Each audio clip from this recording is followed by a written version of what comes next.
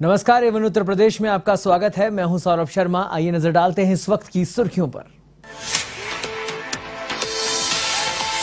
सहारनपुर दौरे पर मुख्यमंत्री योगी आदित्यनाथ पुलिस लाइन में की जनप्रतिनिधियों के साथ बैठक। शाकंभरी देवी विश्वविद्यालय और स्मार्ट सिटी के निर्माण कार्यों का किया निरीक्षण।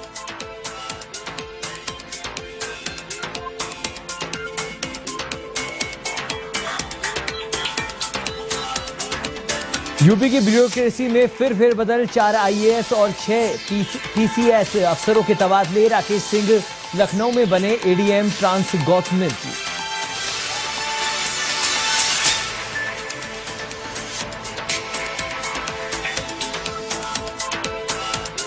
अयोध्या के कैंट क्षेत्र में दर्दनाक हादसा, निर्माणाधीन मकान की ढही शटरिंग। हादसे में एक मजदूर की मौत, दो घायल।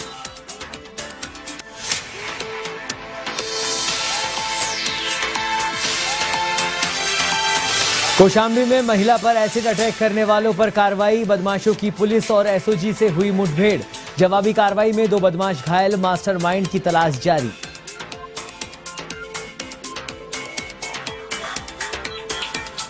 वाराणसी में फिर तेज़ी से बढ़ रहा गंगा नदी का जलस्तर। नौका संचालन पर लगी रोक, चौरासी घाटों का आपसी संपर्क टूटा।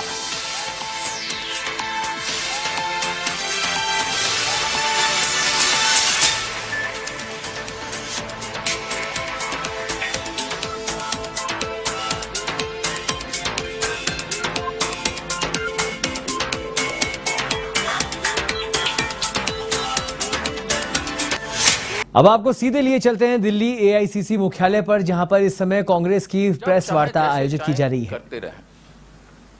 कोविड सब कोविड का नियम सबको लागू था लेकिन कोविड चलते समय सरकार बनाने में अलग अलग राज्यों में तोड़ने में सरकार लोगों को जान बचाने की जगह पर सरकार बनाने और बचाने सब में लगे हुए थे। और वाहवाही ले रहे थे कि हमने इतने राज्यों में सरकार बनाया। संकल्प लिया था कि हम कांग्रेस मुक्त भारत बनाएँगे और इस होड़ में एक गेम प्लान की तरह लग गए। जो आज आज़ादी को या तिरंगा को सम्मान करने वाली बात बोलते हैं, वो आज़ादी का संघर्ष का मूल्य को ही समझे नहीं। समझे होते तो कांग्रेस को भी समझे होते। डेमोक्रेसी में हमारी बुराई को या गलत काम को उजागर करने का अधिकार हर विपक्ष का है। उसको नहीं करके आप फ़िज़िकल अस्तित्व मिटाने में अपना सारा ताकत और सारा सरकार के संस्थान को कमज़ोर कर दिया। लेकिन ऐसे में बिहार एक संदेश दिया देश को, लोकतंत्र को बचाने के लिए। ऐसे समय में बिहार में socialist democratic centrist forces, left forces, एक बहुत बड़ा व्यापक विचार का समूह जो फासिस्टवादी ताकत, जो कम्युनल फोर्सेस जो ताकत है, उसके विपरीत सारे फोर्सेस बिहार में एक हो गए और लोकतंत्र के सम्मान में, डेमोक्रेसी के सम्मान में, संविधान के सुरक्षा के सम्मान में व्यक्ति, समूह, संस्थान, संगठनों की, दलों की आज़ादी के उद्देश्य में एक दिशा निर्देश दिए, एक महागठबंधन हुआ और जिसमें बिहार में बीजेपी की सरकार को, बीजेपी पार्टी को उस सरकार से बाहर कर दिया गया। इससे बड़ा सीख, इससे बड़ा लेशन भारतीय जनता पार्टी के लिए और दूसरा कुछ नहीं हो सकता है। ये देश एक आज़ाद मुल्क है। और इस विषम संकटमय परिस्थिति में देश का, जहाँ आर्थिक, सामाजिक और कई पहलुओं पर केवल एक ही है कि पैसा बनाने का होड़ में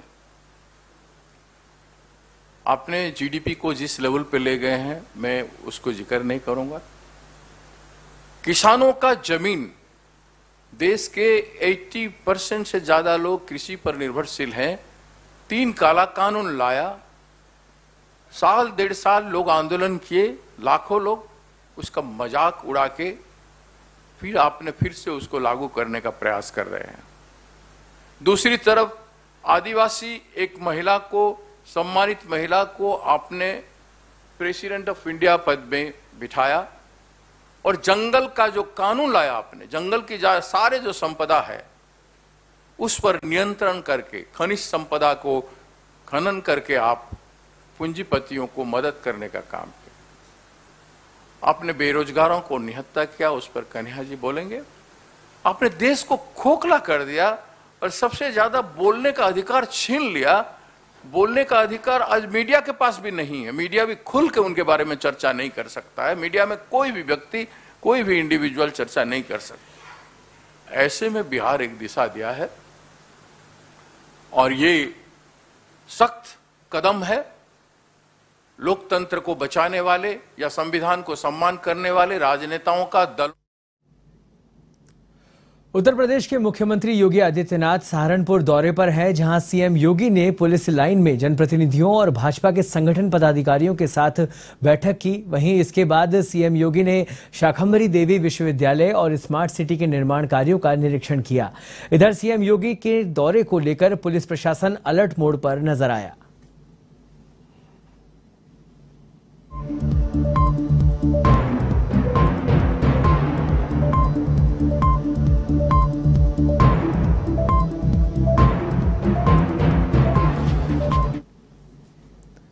उत्तर प्रदेश सरकार ने बुधवार को चार आईएएस और छह पीसीएस अफसरों के तबादले किए हैं। प्रतापगढ़ ज़िले में तैनात मुख्य राजस्व अधिकारी राकेश सिंह को एडीएम ट्रांस गोमती लखनऊ में तैनात किया गया है। वहीं लखनऊ में तैनात विपिन कुमार मिश्रा को अपर जिला अधिकारी प्रशासन की ज़िम्मेदारी दी गई है। इसके अलावा हिमांशु कुमार गुप्ता को अपर जिला अधिकारी वित्त और राज्य से लखनऊ बनाया गया है।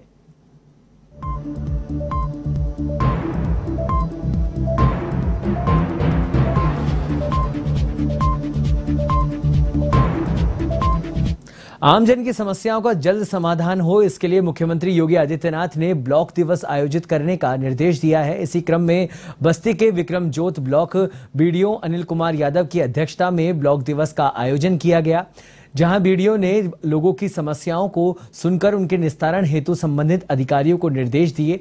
आपको बता दें कि राज्य में प्रत्येक माह के प्रथम एवं तृतीय बुधवार को ब्लॉक दिवस आयोजित करने के निर्देश दिए गए हैं।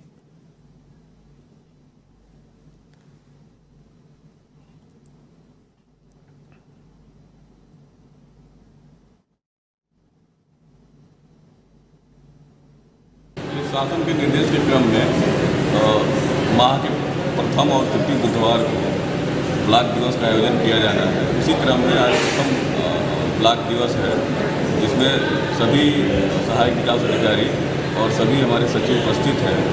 और जैसे जैसे समस्याएँ आ रही शिकायतें आ रही शिकायतों को संबंधित सचिव फॉरवर्ड करके उसका त्वरित निपटारा करने का प्रयास किया अयोध्या के थाना कैंट क्षेत्र के मुमताज़ नगर इलाके में एक निर्माणाधीन मकान पर लिंटर डालने के लिए लगाई गई शटरिंग ढह गई। हादसे के समय मौके पर 50 से ज़्यादा मजदूर काम कर रहे थे। वहीं शटरिंग गिरने से का अंदेशा होते ही मजदूर वहाँ से भाग खड़े हुए, जबकि तीन मजदूर उसमें फंस गए। सूचना पर पहुँची पुलिस ने अग्निशमन ने राहत कार्य प्रारंभ किया। बाद में जेसीबी की सहायता से मलबे को हटाकर उसमें फंसे तीनों मजदूरों को निकाला गया। तब तक इनमें से एक मजदूर की मौत हो चुकी थी, जबकि दो घायल हो गए गए थे। मामले की गंभीरता को देखते हुए ठेकेदार की लापरवाही सामने आ रही है।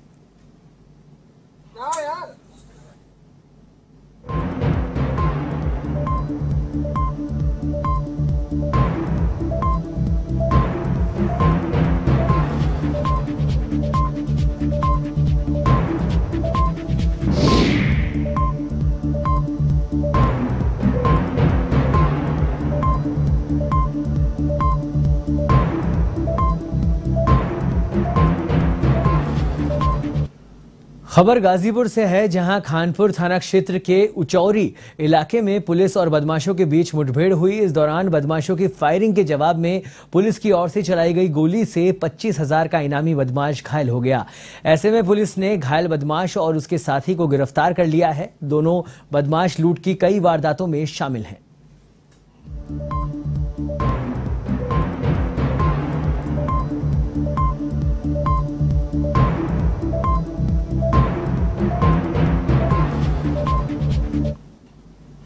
अपराध और अपराध नियंत्रण को दृष्टिगत रखते हुए लगातार चेकिंग के आदेश दिए गए। विगत कुछ दिनों पहले कुछ लूट की घटनाएँ क्षेत्र में हुई थी, खासकर खानपुर क्षेत्र में, सादात और गहमर क्षेत्र में।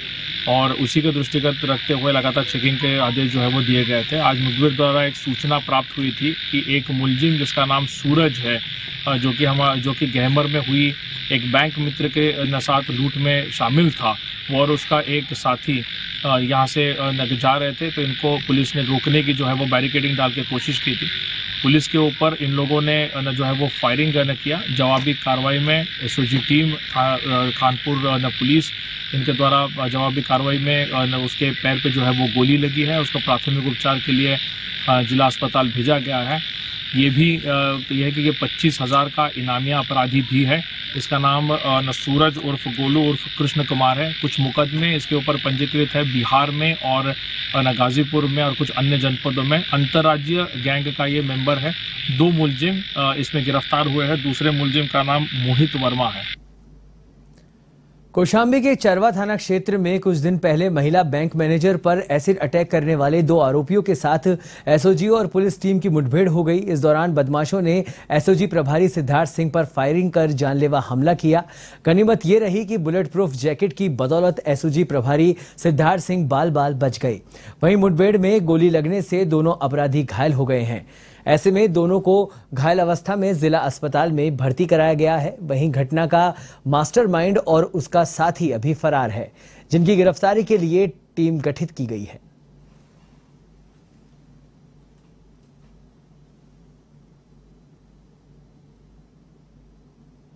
थाना चरवा क्षेत्र में, सैयद सराबा क्षेत्र में एक बैंक मैनेजर, एक महिला है, उनके ऊपर एसिड अटैक की घटना हुई थी।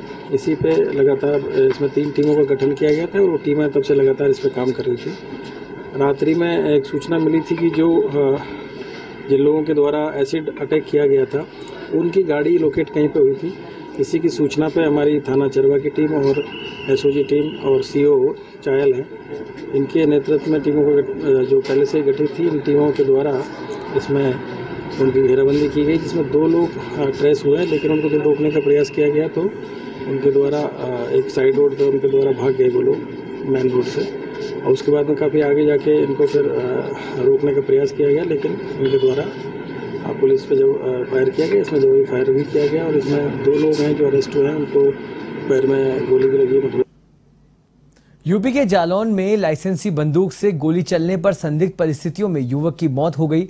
उरई कोतवाली के नया पाठकपुरा में गोली चलने की वारदात से हड़कम मच गया। वहीं एसपी रवि कुमार और फॉरेंसिक टीम ने मौका मुआयना किया। फ़िलहाल पुलिस हत्या का आत्महत्या की जाँच कर रही है।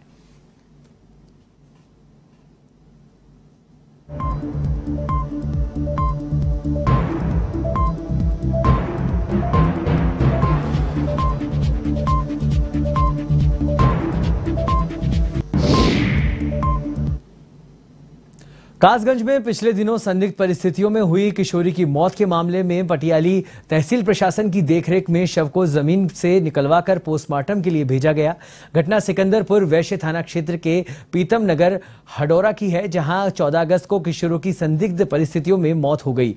इस दौरान परिजनों ने गंगा किनारे शव को दफना दिया।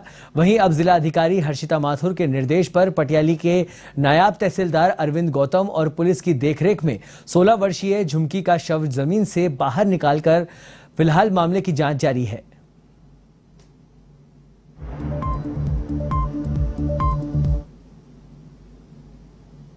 जी वजह सर, ऐसा है ये उसने अपने आप स्टार्ट की। स्टार्ट के बाद हम ग्रामीण लोगों ने सबने सलाह रहा लेके उसे हमने दफनाया गड्ढे में और उसके बाद में हमारे साथ दो तीन सौ आदमी थे। देखिए तारा सिकंदरपुर वैक्ष क्षेत्र में ग्राम पीतम नगर हरोड़ा में मृतका झुमकी 16 वर्ष की है पुत्री सुरेश यादव। इनके परिवार के कहने के मुताबिक साढ़े छः बजे मृतिका जो है अपने साड़ी से गले, फंदा गले डालकर आत्महत्या कर ली है। लेकिन इन्होंने ना पुलिस को इन्फॉर्म किया, ना किसी को इन्फॉर्म कर किया।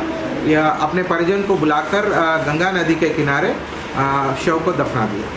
उसके बाद करीब रात को 12 बजे हमें 112 पे इंफॉर्मेशन मिली कि उनके पिता ने इस मृतिका को मारा है और उसी के आधार पर हम लोग गए थे और पूरी वैधानिक कार्रवाई करते हुए मजिस्ट्रेट की उपस्थिति में शव को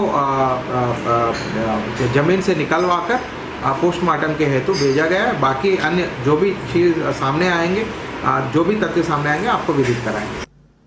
हरदोई के बेनीगंज कोतवाली क्षेत्र के कुइया गाँव में एक ही परिवार के चार लोग अचानक बेहोश हो गए। सभी लोगों को आनंद फानन में जिला अस्पताल में भर्ती कराया गया जहाँ सभी का इलाज जारी है। पूरा मामला फ़ूड पॉइजनिंग का बताया जा रहा है। फ़िलहाल चारों लोगों की हालत में सुधार है।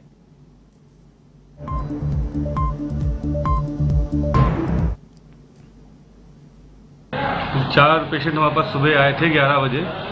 जो किसी फ़ूड पॉइजनिंग का शिकार बताए जा रहे थे। इसमें चार हैं Anurag Sana Madan Pal, Puccha Singh daughter of Madan Pal Singh, Ramkali wife of Narendra Pal Singh और मुनेंद्र सिंह सन ऑफ़ नरेंद्र पाल सिंह। इनमें सभी की हालत ठीक है और अपने आप भर्ती करके इनका इलाज किया जा रहा है। यूपी के मिर्जापुर में ललही छठ का पर्व हर्षोल्लास के साथ मनाया गया। भाद्रपद कृष्ण पक्ष की षष्टमी को भगवान श्री कृष्ण के बड़े भाई बलराम के जन्मोत्सव के रूप में मनाया जाता है। हल षष्ठी को ही पूर्वांचल में ललही छठ के नाम से जाना जाता है। वहीं माताएँ संतान की सुख समृद्धि और उसके स्वास्थ्य के लिए व्रत रखती है।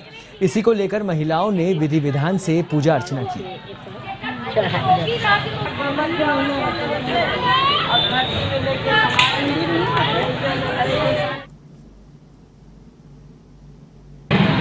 छठ की पूजा बच्चों की दीर्घायु के लिए होता है और जिन महिलाओं को बच्चे नहीं होते हैं, वो इस पूजा को करके अपनी गोद को भर लेती हैं।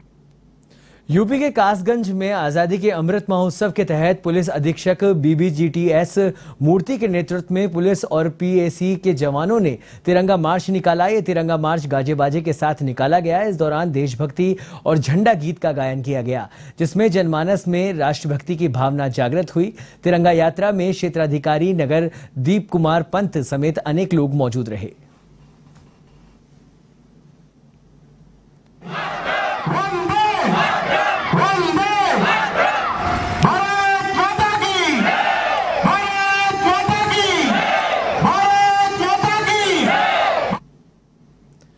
आज़ादी के अमृत महोत्सव के तहत यूपी के आगरा शहर की महिला पुलिस कर्मियों की ओर से मैराथन दौड़ का आयोजन किया गया। इस मैराथन दौड़ में 125 महिला पुलिसकर्मी, महिला निरीक्षक और महिला आरक्षियों ने बढ़ चढ़कर हिस्सा लिया। इस दौड़ में सर्वश्रेष्ठ प्रदर्शन करने वाली महिला पुलिसकर्मियों को एएसपी हरिपर्वत, सत्यनारायण गुप्ता सीओ छत्ता, सुकन्या शर्मा, प्रभारी निरीक्षक महिला थाना रंजना सचान ने सम्मानित किया। साथ ही महिला पुलिसकर्मियों को फल वितरित किए गए।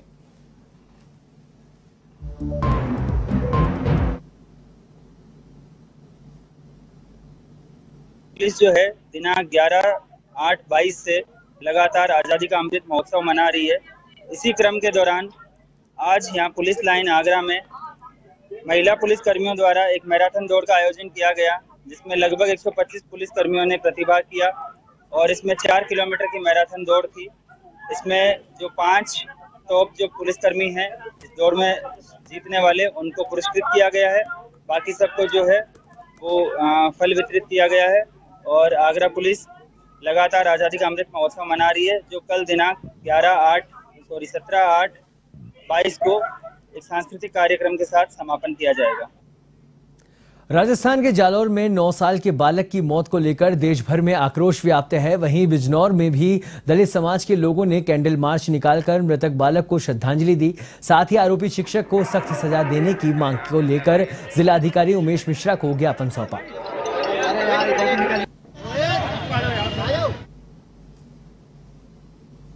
ये एक दलित समाज के बच्चे थे इसका नाम इंद्र मेघवाल नाम है। तो एक टीचर है उसके जो स्कूल है उसी के टीचर थे। तो उन्होंने इसकी इतनी पिटाई करी पानी पीने के ऊपर मात्र जो घड़ा होता है उसमें से पानी पीने की मात्र उसे ऐसी सज़ा मिली है कि उसकी हत्या कर दी उसने। उसे इतना मारा कि उसकी दिमाग की नस फट गई और पीट पीट के उसकी हत्या हो गई। तो ये कैंडल मार्च हम उसी के भाई के लिए निकाल रहे हैं उसे इंसाफ मिले और जो वो मास्टर है उसे फांसी फांसी की कम से कम सजा मिले। और इससे भी कोई भयंकर सजा हो तो वो उसे मिले। इसलिए हम ये सारे हमारा समाज भाई के लिए कैंडल मार्च कर रहा है और कैंडल मार्च हम विकास भवन तक ले आएँगे और फिर डीएम साहब को भी देंगे ज्ञापन और अपनी बात आगे तक पहुंचाएँगे। यूपी के बस्ती में नवसर्जित नगर पंचायत श्रीपालपुर का नाम बदलने को लेकर स्थानीय लोगों ने जिलाधिकारी को सीएम योगी के नाम ज्ञापन भेजा है। आपको बता दें कि श्रीपालपुर को और आसपास के गाँवों को नगर पंचायत का दर्जा दिए जाने के बाद नाम बदलने की मांग को लेकर अतिरिक्त उप जिलाधिकारी गुलाब चंद से मुलाकात कर मुख्यमंत्री को ज्ञापन भेजा गया है। इस ज्ञापन में श्रीपालपुर नगर पंचायत का नाम बदलकर स्वतंत्रता सेनानी विजयपाल सिंह के नाम पर रखने की मांग की गई है। नगर पंचायत का गठन हुआ इससे लोगों में हर्ष है। लेकिन हम लोगों की मांग ये है कि जो है स्वतंत्रता संग्राम सेनानी विजय पाल सिंह के नाम पे इसका नाम रखा जाए। नगर पंचायत बन रहा है श्रीपालपुर के नाम से। तो हमारे गाँव के थे बहुत पहले स्वतंत्रता का संग्राम सेनानी। तो हम लोग चाहते हैं कि उनके नाम से नाम रखा जाए। उनका नाम विजय पाल सिंह था। इसलिए हम लोग सोच चाह रहे हैं कि विजय नगर के नाम से बने। मांग ये थी कि जो श्रीपालपुर को नगर पंचायत का दर्जा दिया गया है। हम लोग ये चाहते हैं कि स्वतंत्रता संग्राम सेनानी के नाम से नगर पंचायत का नाम घोषित किया जाए। उत्तर प्रदेश के वाराणसी में लगभग दो सप्ताह से स्थिर पड़े गंगा के पानी में फिर उफान आ गया है। गंगा का जल स्तर काफ़ी तेज़ी से बढ़ने लगा है। ऐसे में चौरासी घाटों का आपसी संपर्क टूट गया है। वहीं गंगा का जल स्तर फिर बढ़ने से नौका संचालन पर रोक लगाई गई है। आपको बता दें कि दशाश्वमेध घाट पर गंगा का पानी शीतला माता के द्वार तक पहुँच गया है। बड़ी वहीं बड़े जल स्तर को देखते हुए गंगा आरती का स्थान फिर बदला गया है। इधर मणिकर्णिका घाट और हरिश्चंद का शवदाह स्थल फिर बदल गया है।